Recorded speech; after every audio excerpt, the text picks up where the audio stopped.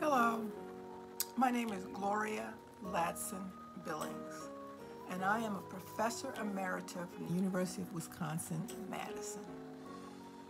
One of the things that's probably distinctive about me is that I'm the first African American woman to earn tenure in the School of Education. Uh, back in 1994, I was able to do that so excited to be there for 26 years. Uh, I'm the current president of the National Academy of Education, which is a body of about 200 scholars worldwide who are seen to be among the best in the field. Uh, on the educational influencer scale this year, I was named as the number educational research scholar influencer in the nation. And there are so many things that make me proud to be an African American.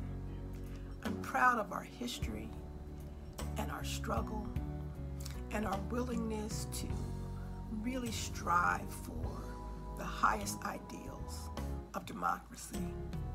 I'm proud that we have a tradition of excellence, we stand on the shoulders of some outstanding scholars, artists, scientists, educators. Uh, I was encouraged by some amazing people growing up in Philadelphia, and it's always been my desire to continue to do this kind of work where we have an uplift of our community.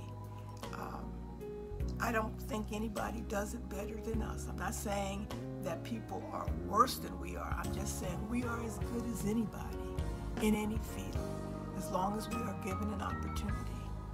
And so there's many, many reasons for us to be proud of being black. And I hope each and every one of you who is watching this is also proud.